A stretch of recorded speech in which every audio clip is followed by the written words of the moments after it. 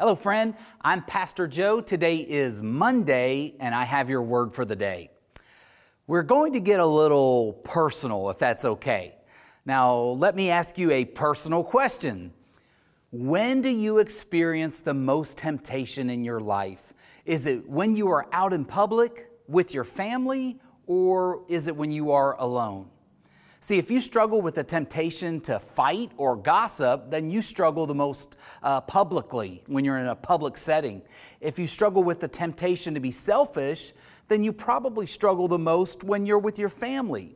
And if you struggle with the temptation to watch pornography, then you probably wrestle with that temptation when you are alone. The Apostle John wrote about temptation, the cravings that even followers of Jesus experience to sin. In 1 John 2 15 and 16, John writes this Do not love this world, nor the things it offers you. For when you love the world, you do not have the love of the Father in you. For the world offers only a craving for physical pleasure, a craving for everything we see, and pride in our achievements and possessions.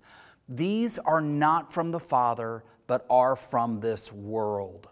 Now, John is not discouraging followers of Jesus from loving the people of the world, family, or strangers. We know that because of his emphasis on loving others throughout his ministry and in this letter. The world that John refers to is the community of humanity that possesses a spirit of rebellion against God. John is discouraging followers, followers of Jesus from craving the emptiness that the world offers. Followers of Jesus can get caught up by the wrong stuff.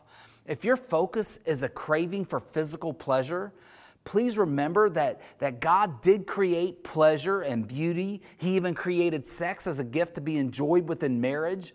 But a desire for physical pleasure and pride in our achievements and possessions can grow out of control if we let it. So remember today, John writes, those things are not from our Heavenly Father. Those things come from a world that is in open rebellion against God and the evil one who hates your guts. So do practice discipline.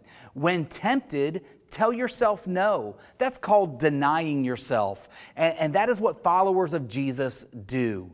God has placed somebody in your life you can be accountable to. Ask God to show you who it is.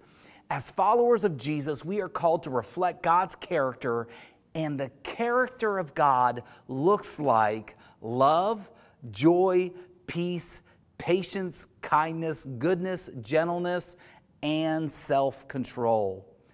So, during this COVID season, maybe you've struggled under a heavier, uh, heavier temptation uh, during our time of social distancing. So here's, let me encourage you to do this.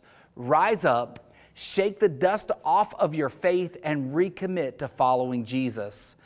Thanks for joining us today. If the word for the day continues to bless you, like it, share it, and leave us a comment. God bless.